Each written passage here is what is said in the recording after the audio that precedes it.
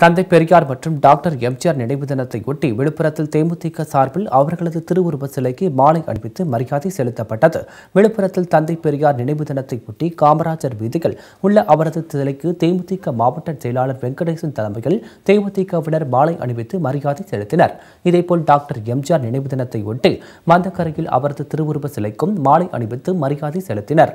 இதில் மாவட்ட பொருளாளர் தயாநிதி நகர செயலாளர் மணிகண்டன் மாவட்ட துணை செயலாளர் சூடாமணி மாவட்ட கேப்டன் மன்ற துணை செயலாளர் ஆதவன் முத்து மாவட்ட இளைஞரணி துணை செயலாளர் சீனிவாசன் ஒன்றிய செயலாளர்கள் கோழிப்பட்டு குமார் குமலமுருகன் ராமலிங்கம் ராமச்சந்திரன் சுப்பிரமணி பன்னீர்செல்வம் ஜெயமூர்த்தி நகர பொருளாளர் சுபாஷ் நகர துணை செயலாளர் மணிமாறன் மாவட்ட பிரதிநிதிகள் இளையராஜா செல்வகுமார் சீதாபதி செந்தில் கண்ணபிரான் கணேசன் உள்ளிட்ட பலர் கலந்து கொண்டனர்.